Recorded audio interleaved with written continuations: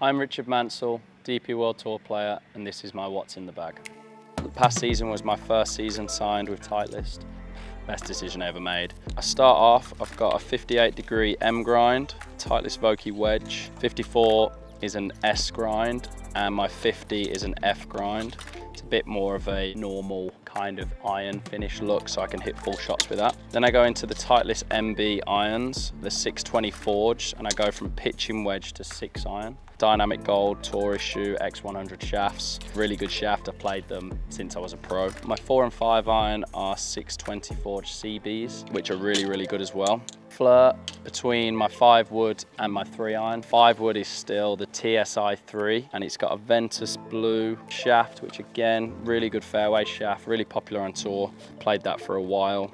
Three wood is still TSI 3 as well, so last year's model. My woods have been really good, so I've really found it difficult to change. That also has the Ventus Blue 7X.